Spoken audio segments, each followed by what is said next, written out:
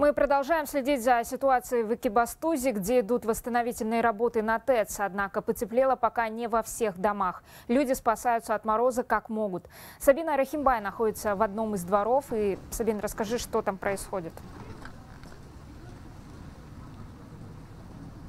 Гульнар, еще раз здравствуйте. Мы приехали по адресу Мамушалы 52. И, и вот смотрите, какая здесь картина. Люди а, прогревают внутридомовые сети своими силами. Они разожгли костер. Оператор, пожалуйста, пожалуйста покажите поближе. И вот, вот здесь вот еще э, э, находится проход между дворами, и жильцы двора просто перепрыгивают через костер, как на масленице. А, что я хочу еще сказать, а, а, что у предпринимателей, которые, у которых здесь есть магазины, тоже а, возникают проблемы. И вот а, сейчас одна из а, предпринимателей, пожалуйста, представьте, как вас зовут? Зовут меня Иванько Надежда Васильевна, я владельца магазина по строительной 52 по Жаному Мышилы 52. Вот я хотела бы задать вопрос. У нас пятые сутки нету никакой воды и нет у нас отопления. Как можно стоять в магазине в бетонных стенах? Мы вынуждены в 6 часов закрывать магазин. Кто мне возместит убытки мои? И еще вопрос. А целый день включаем мы обогреватель. Тоже свет у меня не дешевый, у меня не те расценки, что у жильцов. Куда мне обращаться, что мне делать?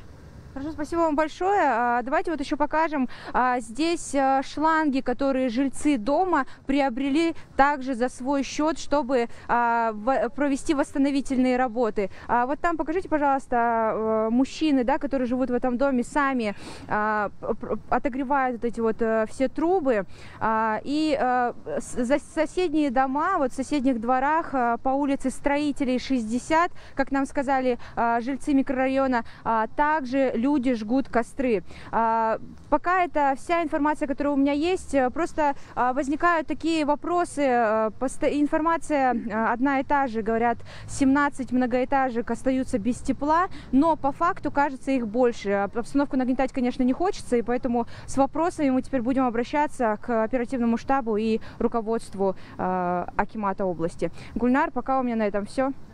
Сабина, а вот вообще ситуация э, по городу, вот вы говорите, что официальная информация 17 многоэтажек, которые не подключены да, к теплу, но по факту больше, да? А сколько вот, э, вот, ну вот это один из дворов, а что вы еще видели своими глазами?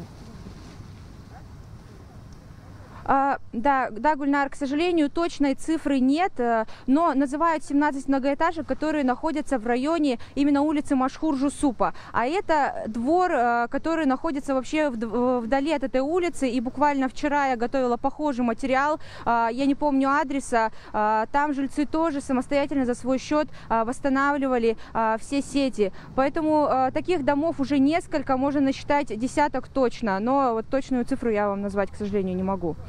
Ну что ж, надеюсь, э, власти, в том числе городские, э, ответят на наши вопросы, и мы узнаем на самом деле точное число многоэтажек, которые не подключены до сих пор к теплу в Экибастузе. Я напомню, с нами на прямой связи была Сабина Рахимбай, она работает на месте событий.